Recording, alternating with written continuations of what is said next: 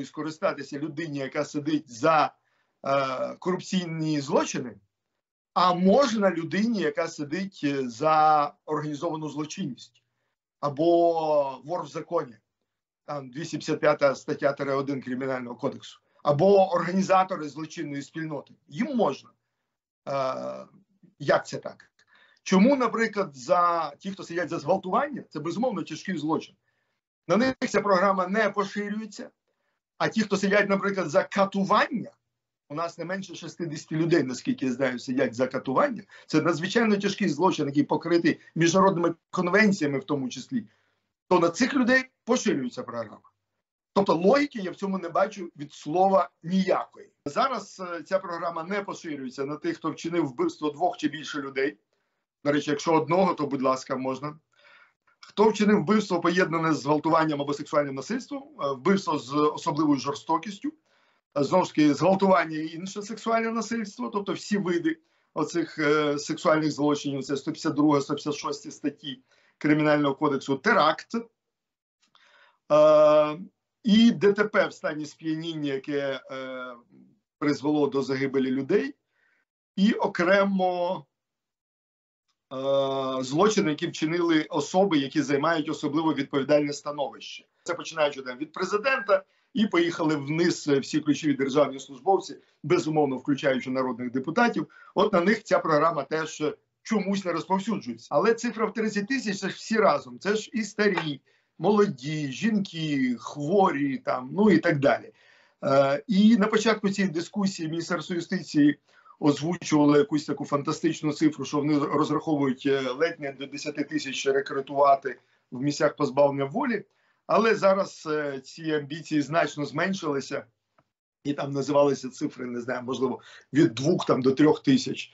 Хоча це в мене теж викликає певний сумнів.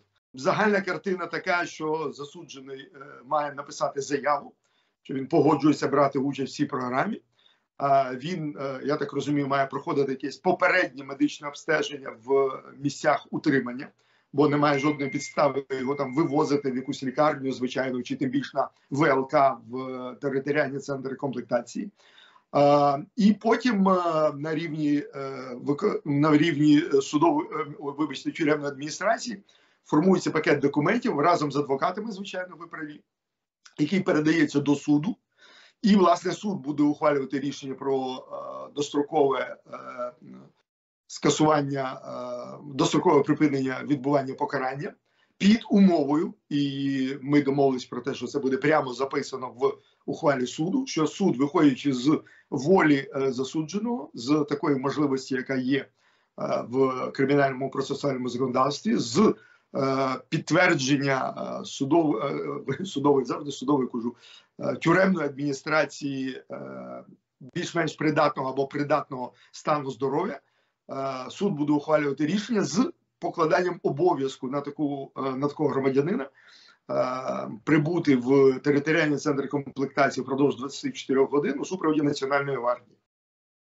Власне, так планують, що прямо з залу суду Е, людина буде супроводжена, і це теж дуже цікава юридична процедура. Бо ви ж розумієте, що після ухвали суду ця людина є абсолютно вільна і може по ідеї йти куди завгодно. Але там прописали процедуру супроводження, е, про прохання не путати з етапуванням, тобто її мають якби от так полюбовно доставити в ТЦК.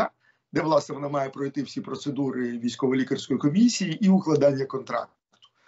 При цьому запобіжником від зловживань, там втечі чи ще чогось, е, є запровадження додаткового покарання.